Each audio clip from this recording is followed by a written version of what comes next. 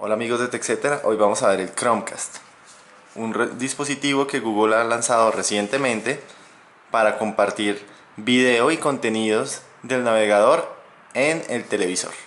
Vamos a ver qué es lo que tiene por dentro de esta pequeña cajita.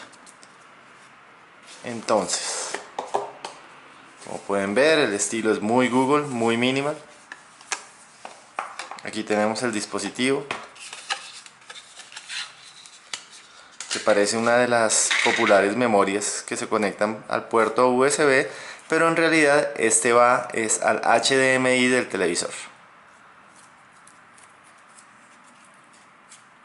Utiliza un poco más de energía que lo que generalmente tienen estos puertos, por lo mismo trae una especie de extensión que se conecta aquí de esta manera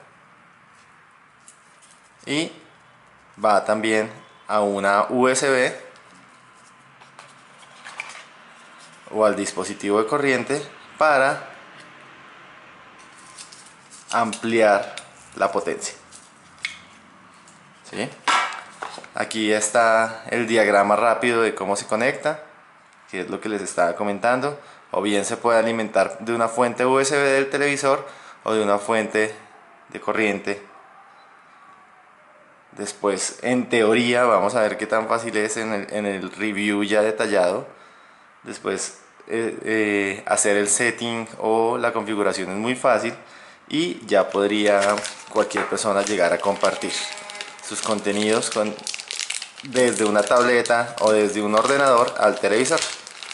Otra de las cosas que trae, que se me hizo bastante interesante, es una extensión de HDMI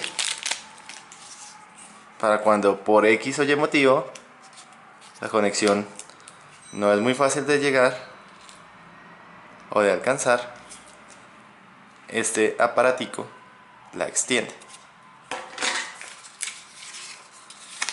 El resto trae el manual